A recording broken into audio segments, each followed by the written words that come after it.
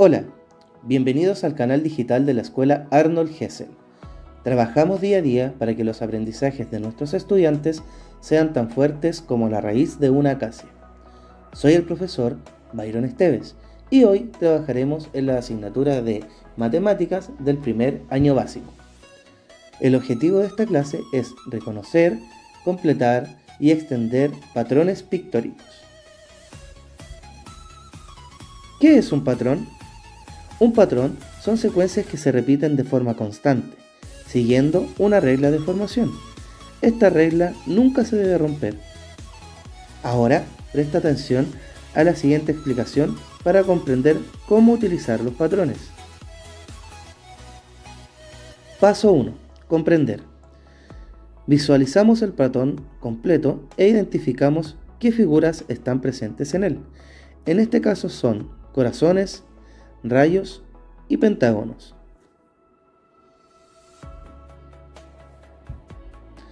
Paso 2. Planear. Elaboramos un plan para identificar la regla de formación que se repite siempre. Por ejemplo, encerrar con una cuerda el patrón de formación. Esto lleva por nombre unidad de patrón. Paso 3. Aplicar aplicamos la estrategia diseñada anteriormente. En este caso, encerrar todas las unidades de patrón de formación. Recuerda que todas deben tener las mismas figuras y las mismas cantidades. Paso 4. Revisión. En este caso, verificamos que todas las unidades de patrón encerradas tengan las mismas figuras tanto en forma como cantidad. Es decir, corazón, rayo, pentágono. Corazón, rayo, pentágono.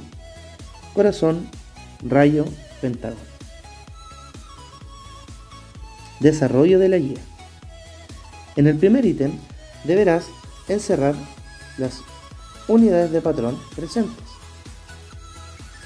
como mostramos en el ejemplo anterior. En el ítem 2 deberás completar los recuadros faltantes siguiendo el patrón.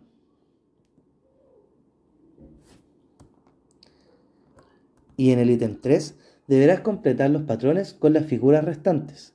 Recuerda siempre utilizar la estrategia que hemos trabajado en este video.